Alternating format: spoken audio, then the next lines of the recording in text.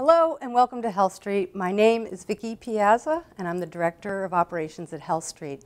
I'd like to show you how we serve the community on a daily basis.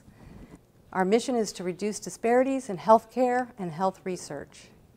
We do this by conducting an assessment in our community and here at our facility.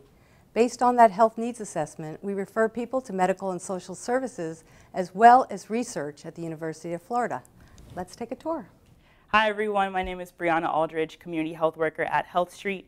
What I'm standing next to is one of our health education tables, specifically Safer Sex. We connect community members to this station and to HIV testing at HealthStreet for free, uh, just one of the many programs and services we offer at HealthStreet.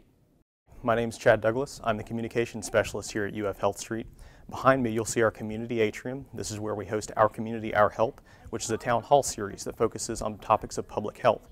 Here we also host a number of support groups and classes, and we provide public computers for our community members.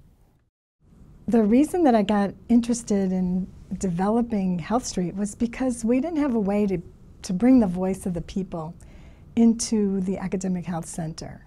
We have a cohort now of about 10,000 people in the community from all over, um, 46 of the 67 counties in Florida.